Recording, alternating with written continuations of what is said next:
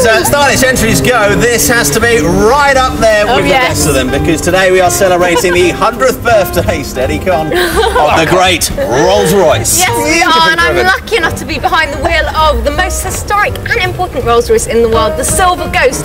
It was built in 1914, and get this, guys, it's Yeah. worth a staggering one Great. million pounds. Incredible. Well driven. Well, thanks for the lift. Now then, when Charles Rolls and Henry Royce met up for lunch at the Midland Hotel in Manchester on the 4th of May 1904, they agreed to manufacture a range of the greatest cars the world would ever see. Yes, now Mr. Rolls was the salesman and Mr. Royce was the engineer. Now, Mr. Royce despised radiator mascots, but after much persuasion, the specially created Spirit of Ecstasy was deemed to be a fitting emblem to grace the world's most luxurious motor cars, and it's adorned all Rolls Royce cars ever since, just like this magnificent Phantom of Love.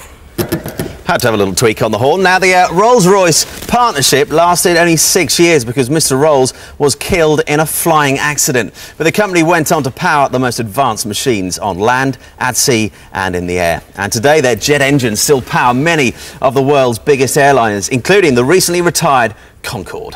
Yes, now feast your eyes on this. It's only a limited edition Rolls Royce Phantom and it's destined to become one of the most sought after luxurious cars in the world. And if you have a look inside, you'll see why. Hello, Mr. Baker.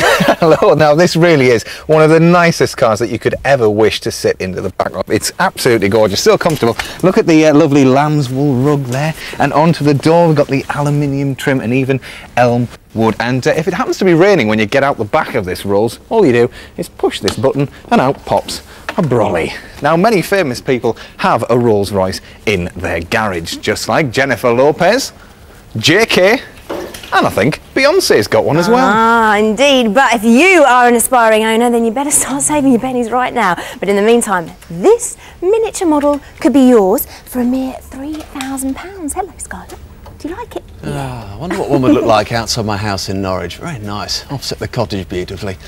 Anyway, let's bring myself quickly back to reality because earlier this morning I was out in the Blue Peter garden to make sure our gardener Chris Collins has everything under control for our summer break.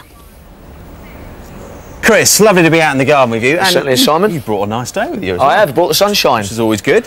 What do you got up for us today? Well, I've been looking at this barbecue patio, and it's a little bit on the grubby side, isn't it? It's seen better days, I think it'd be fair to say. The uh, barbecue may be suffering one or too many drippy burgers. I think you're right. I think it needs a clean. We've got a pressure jet here, which is Okay. a good tool for this. Good news. So I've got the broom. We can give it a good clean, I reckon. Before the broom, should make some room because Yes, we've got, a we've got these pots pots here, yeah. You put this rather large one up on wheels. So that means that uh, hopefully make just sail it out of the way. Yep. And the uh, the busy Lizzies in this one have been quite busy by the look of it. Yep. They look fantastic. They'll flower pretty well continually. Really? Yep. As will this pot here of bedding, which is cosmos and fuchsias. That'll flower for the whole summer. They're looking lovely. So Yeah. you mean when we come back in September, they'll still be looking pretty good? Yep, I reckon so. Yep. Okay. Out of the And, way, uh, and then we've got